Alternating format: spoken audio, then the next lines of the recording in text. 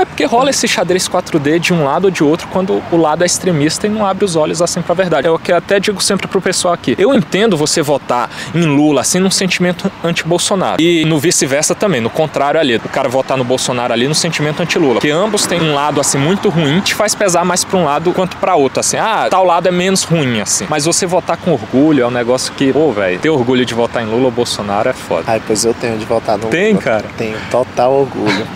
E a questão do triplex mesmo, que é algo que eu quero te perguntar, assim, se você Uhum. acha que era dele ou não, porque tem 18 provas concretas em relação a esse processo e uma delas muito fortes, assim, é que ele declarava no imposto de renda esse Uhum. triplex aí. O que, que você acha do triplex?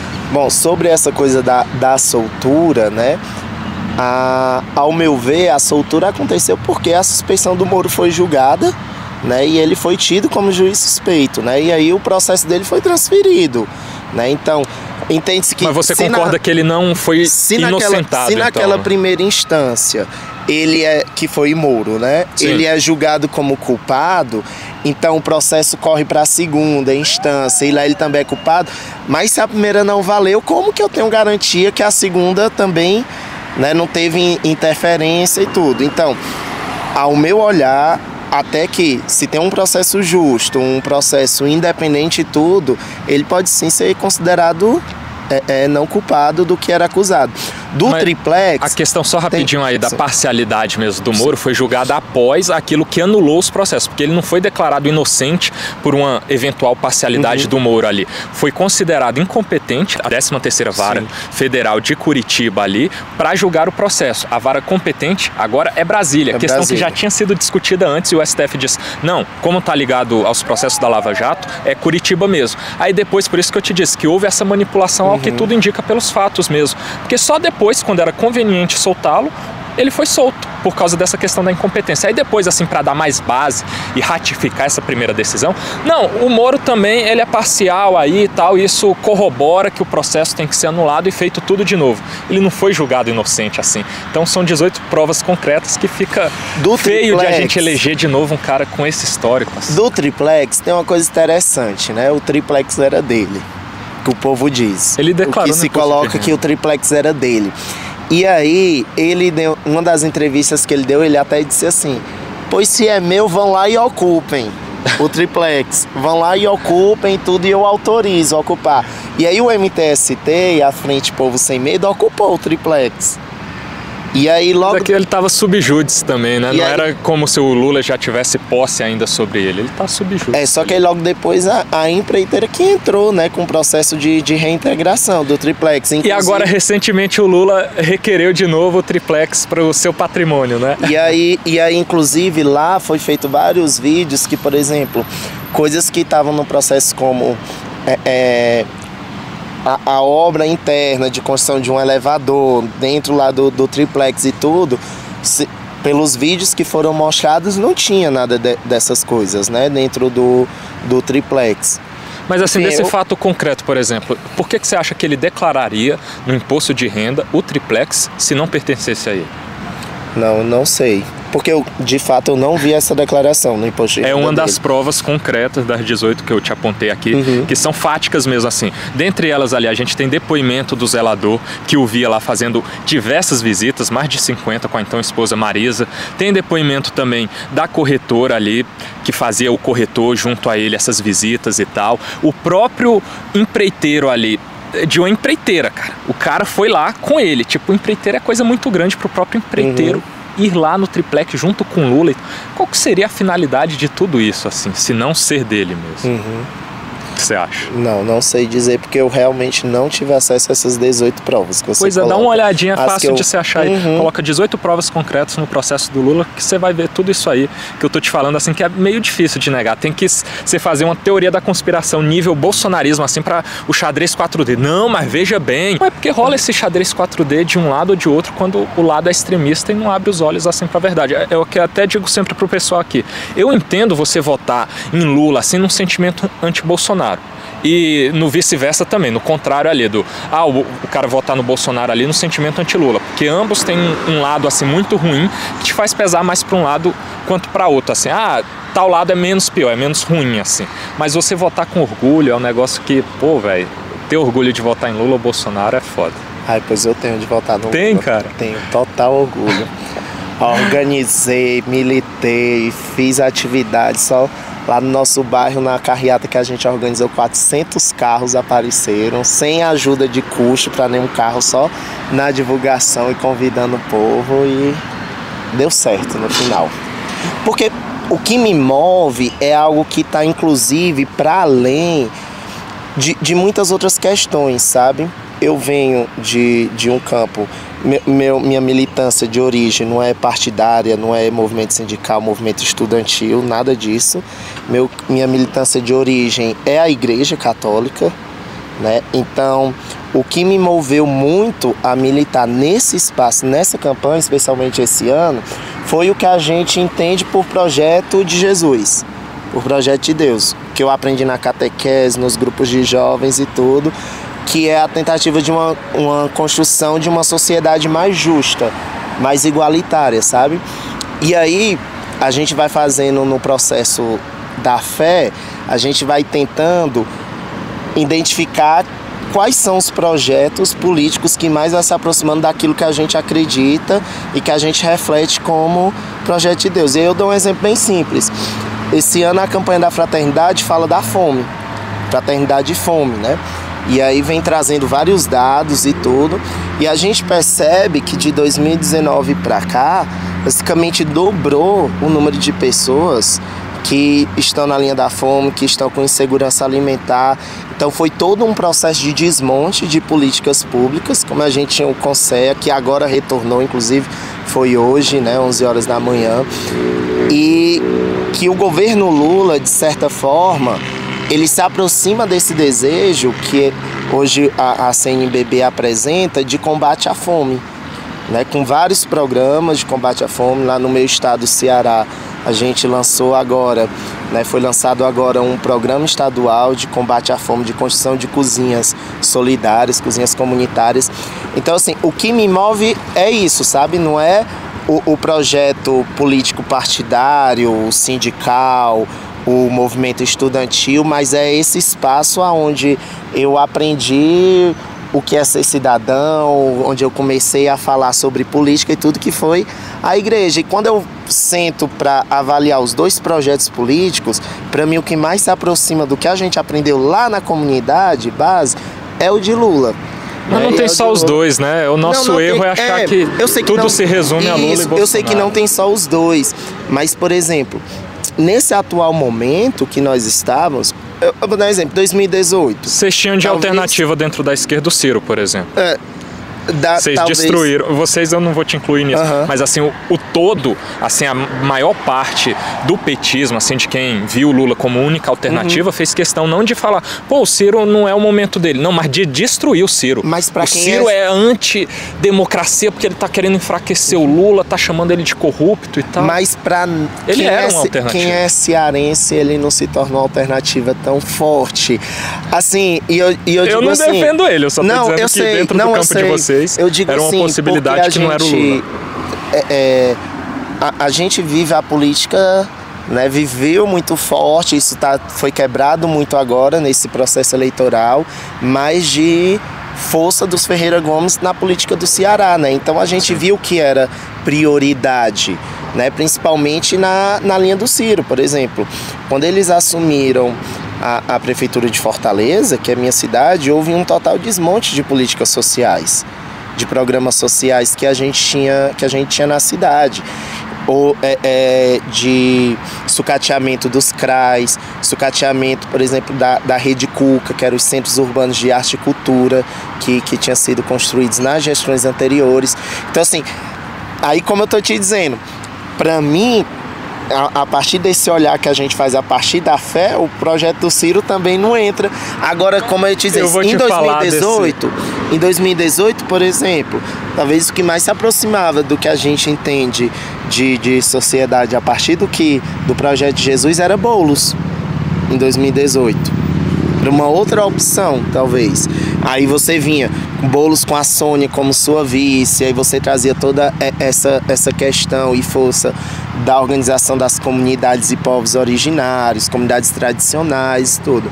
Né? Então, nesse, nessa eleição específica, você tinha dois lados, de certa forma. Mas assim, assim dentro do que de você concreto. falou da fé mesmo, uhum. que foi o que te moveu inicialmente para a militância política, assim. A gente tem um recente caso aí também do Lula apoiando o ditador lá da Nicarágua, esqueci o nome dele agora. O Ortega. O Ortega, exatamente. Uhum você sabe que ele teve uma perseguição a padres da igreja sim, católica sim, ali. O que, você acha do Lula apoiando esse tipo de coisa, contra. cara? Você acha que e ele está gente... alinhado com os princípios da fé uhum. quando apoia alguém que persegue a fé, a liberdade uhum. de as pessoas exercerem o que quiserem dentro da uhum. fé? Então, existe uma questão que a gente também aprende é, é, na vivência eclesial que toda ditadura ela é ruim, seja de esquerda ou de direita, Sim. né? E aí, lá na Nicarágua específico, por exemplo, quando foi no início da Revolução, a igreja teve junto. A igreja apoiou a, a, a Revolução de Nicarágua, está, estadinista. É, inclusive, teve até um padre que tem um vídeo muito famoso que ele foi repreendido por São João Paulo II na visita que João Paulo II fez lá e que depois Papa Francisco o trouxe de volta, né, para a igreja, Sim. o devolver a suspensão a, a, a ordem. Mas aí o que é que o que é que percebe lá? Qual é a situação da Nicarágua? Quando a igreja percebeu que aquilo que eles acreditavam como sociedade do, do bem viver estava se tornando nesse processo de ditadura, ela se colocou contra. E aí isso é o que é para mim. A, a, gente não é movido pela ideologia partidária no sentido da esquerda ou da direita, mas é movido pelo projeto maior que é de Jesus. Sim, Lá é quando positivo. a igreja, e quando, quando o Daniel Ortega percebeu, persegue isso, essa mesma igreja, o Lula apoia, o Lula tá errando. Né? Tá errando. E aí você tem, por exemplo, questões na, na doutrina social da igreja que vão se aproximar ou da, da ideologia de direita ou da ideologia de esquerda. Por exemplo, quando vocês falam, se fala da pauta do aborto, né? Sim. A igreja tem uma posição que é firme e que é muito mais próximo da defesa das pautas da direita. Totalmente contra, Você é contra ou a favor? Contra o aborto. Eu sou contra o aborto. Né? Sou é é dentro sua, da esquerda é uma questão. a sua legalização e tudo, e não tenho medo de, de dizer isso dentro da esquerda, porque, como eu disse, é uma questão de fé, do espaço de, de onde eu venho, né? Você sabe e que aí, o Lula hoje ele deu uma amenizada assim, se falar dessa pauta, porque ele sabe que pega muito mal uhum. e a maioria da população brasileira é contra o é aborto contra. mesmo. Uhum. Só que é uma pauta mais de direita mesmo. Uhum. E dentro da esquerda se trabalha muito a liberdade pro corpo da mulher ali, é, né? Eu compreendo. Você acha que o Lula, assim, dentro da visão que ele tinha lá atrás de falar mesmo que se tinha é uma questão de saúde uhum. pública pública, nós temos que legalizar o aborto para que mulheres parem de morrer. Você acha que esse tipo de questão assim que vai diametralmente contra aquilo que você acredita, dá sentido a você apostar nele ainda, cara? Então, o que é que eu acredito? O, essa, essa questão do aborto mais específica, eu acho que a gente não deve barrar o debate.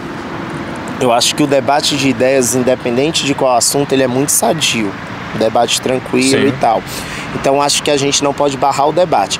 Eu, como igreja, tenho minha opinião que vai de acordo com o que a igreja diz, né? Acredito que o Lula, como um chefe de Estado, ele deve ouvir todas as partes e, e, a definição deve vir de uma ampla escuta da sociedade. Eu me coloco contra, assim como eu sou contra, por exemplo, porque aí também na direita e em, parte do, do povo da igreja, se defende, se é contra o aborto e se diz que defende a vida, mas na verdade se defende só o direito de nascer.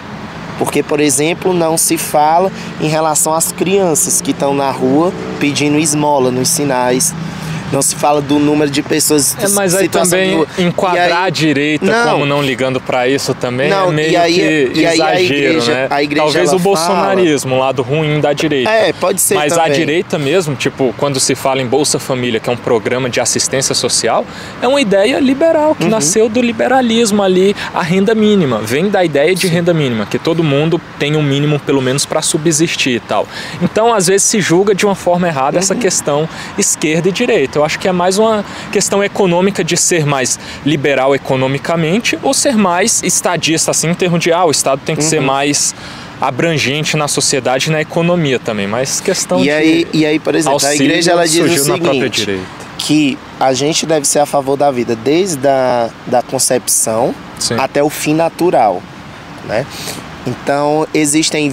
Quando se fala da concepção até o fim natural, existem outras várias questões que entram aí e que entram também na doutrina social. Por exemplo, ser contra a mineração devida, a igreja fala disso, ser né, o cuidado com a casa comum, que é o que o Papa Francisco está tá dando esse, esse nome agora, né, da ecologia integral, é, é, essas pautas da questão da moradia, como você já disse, distribuição de renda e tudo.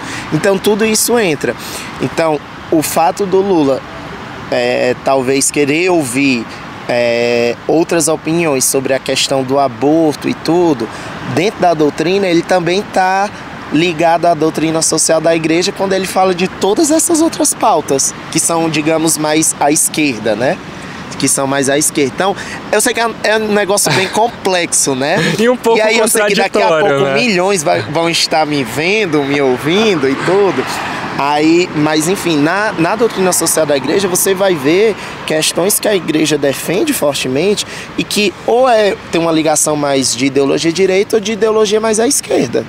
Né? E aí você, o, o, não uso de armas, por exemplo, a igreja é contra a liberação de armas. Sim. A igreja foi contra a redução, é contra a redução da maioridade penal. É, a igreja penal, mais católica, né? né? Isso, a igreja católica. É contra a redução da maioridade penal, é contra é pena de morte e tudo. Então tem todas essas outras coisas que, enquanto esquerda, a, a esquerda também defende, né? Então você é esse processo, como eu disse, a gente aprende na igreja tem até um, um, um, digamos, um tripézinho, que é o ver, o julgar e o agir. Né? Você vai olhar essa problemática, você vai olhar a situação, você vai julgar a luz da fé, a partir do que você vai aprendendo na caminhada, e aí o agir é quando você vai lutar, né? Você Sim. vai construir algo novo, construir alguma proposta. Por exemplo, eu vim aqui para Brasília hoje, esse, essa semana para participar de um encontro da CNBB, que é a Sexta Semana Social Brasileira que está com o tema, né? Nenhuma família sem casa, nenhum camponês sem terra, nenhum trabalhador sem direitos, que é o, uma frase que o Papa Francisco encerrou um discurso dele com o encontro de movimentos sociais. Então a gente vai estar tá debatendo várias questões, inclusive a gente vai estar tá trazendo algumas críticas. A equipe da, da coordenação elaborou a partir de alguns questionários que a turma que está vindo respondeu, algumas críticas, inclusive a esses dois primeiros meses do governo Lula, né? Então a gente vai ter alguma mesa com alguns parlamentares, com ministros, com secretários, para estar tá trazendo inclusive algumas pautas. Então, ah, enquanto igreja, a gente não tem, digamos, o nosso candidato, né? Eu enquanto pessoa e tudo, escolhi a partir do que eu entendi, mas enquanto militante da igreja, no que o governo Lula atacar aquilo que a gente acredita, a gente vai também estar contra, se posicionar contra. É isso, Enfim, cara. Então é mais ou bola. menos isso, sabe? E Cobrar eu falo aquilo que, essa, que tá dessa errado, paixão, não fechar os olhos pro que aconteceu de errado e pro que vai isso. acontecer. Tá? E eu falo dessa paixão porque realmente me envolvi como paixão. Eu tava nas atividades, eu chorava. Né? Eu chorava quando a gente passava, a turma batia palma, balançava uma bandeira, pedia material e tudo. Pô, cara, Mas... isso se aproxima assim de uma idolatria pelo político. Você não acha, cara, aquilo que vai se tornando não, um lance, um é movimento é pelo... de político de estimação é, mas não, e não. vira idolatria para os extremos políticos, tanto da figura do Bolsonaro que o bolsonarismo virou seita, como o petismo uhum. já era mesmo e a raiz extremista petista continua não é seita ao Lula, assim, como se as duas únicas figuras fossem messiânicas e únicas possibilidades para a política não é nacional. É, bem, é o perigo da coisa. Não é bem essa idolatria para o político de estimação, mas é um apego a um projeto. Né? E que o projeto hoje a gente entendeu que era Lula. A pessoa lá na frente não vai mais ser Lula pode ser é uma outra liderança que vai surgir, que vai estar tá e tudo.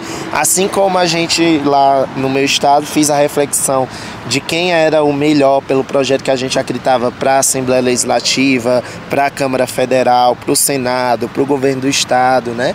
Então a gente vai fazendo a, as avaliações. Então é uma paixão pelo projeto e especialmente nesse segundo turno a gente pelo projeto Lula, né? Pelo projeto de sociedade. pelo projeto de sociedade. Porque se fosse pelo projeto Lula, eu tava vindo para um encontro que, inclusive, vai levantar críticas a algumas questões do governo, né? Não, cara, eu, eu é? acho positivo assim quando a esquerda mesmo diz, não, mas a gente faz críticas também àquilo que a gente se posiciona contra. Só que a crítica, assim, que eu vejo, ela é muito conveniente e tal. No bolsonarismo não tem praticamente nada. Se ele bater embaixadinha com a criança, vão dizer que a criança é comunista e afins para defender ele. Só que a esquerda ainda faz, assim, às vezes uma crítica e tal em determinado. Uhum. Só que a crítica, ela é conveniente porque eu digo, ah, às vezes é nessa questão, pô, mas o tem muita gente criticando dentro da esquerda mesmo. Pô, mas aquele movimento antissistema que a gente tinha para instauração de uma revolução e tal tá se perdendo e tal. A gente tá tratando de questões mais superficiais dentro da esquerda. Então é uma crítica mais conveniente para a própria esquerda. Só que dentro daquilo que se erra de fato no governo em, que, em relação a questões práticas, tipo o que a gente começou falando aqui, ele aumentou uhum. o salário da elite, que são esses caras aqui: deputados federais, senadores, ministros do STF, ministros de Estado, o próprio presidente da República, vice-presidente. E isso é um teto que se aumenta também, que por cascata, meu, vai aumentar do serviço público inteiro uhum. aos poucos, vai aumentando porque esse limite aumentou. Então ele está aumentando o salário de quem já é elite. Consequentemente, o salário mínimo, que é uma questão que a esquerda busca também aumentar e dar mais igualdade em relação a quem é elite, aumentou 18 reais de 1.302 para 1.320. Então, cara, fica difícil assim você não bater o pé e criticar isso. Porque uhum. a maioria não está criticando isso. Sim, sim. É, essa questão do salário mínimo mais específico é o que eu digo, inclusive quando as, as pessoas perguntam em tudo, né? É, eu acredito de fato que a partir do ano que vem a gente vai ter um, um aumento ainda mais real, né? Porque se você olha, 18 reais é muito pouco, concordo, é muito pouco, principalmente comparado a, ao aumento que foi dos parlamentares. Mas tudo que... é dentro de capacidade orçamentária, né? Sim. A gente não tem capacidade de ficar aumentando num passe de mágica, na varinha de condão, assim. Você Isso. tem que cortar de outras áreas. Pronto. Por exemplo, você tem que não aumentar o salário desses pra caras Para poder aumentar de forma você mais cria uma, uma despesa muito maior o ali. salário mínimo, Exatamente. Sim. Mas é isso. Eu acho que isso de fato ele vai acontecer e não agora, né? E não agora, daqui a talvez um ou dois anos e tudo, que a gente vai ter como a gente tinha anteriormente, né? A gente tinha aumentos reais mesmo, de fato, acima da inflação e tudo. Isso quando você, por exemplo, quando minha avó tá falando lá em casa e tudo, ela diz claramente isso, que você tinha, uma, tinha um aumento real, as coisas subiam um pouquinho o preço e tudo, mas o que era aumentado você conseguia se manter e você ainda tinha uma sobra de, de renda extra, né? Então, a, quem é dona de casa e mantém o orçamento e cuida do orçamento da casa sabe dessa diferença e sabe que 18 reais no contexto de hoje não muda muita coisa, não, não muda quase nada. É, não compra nem arroz que, direito. Pois é.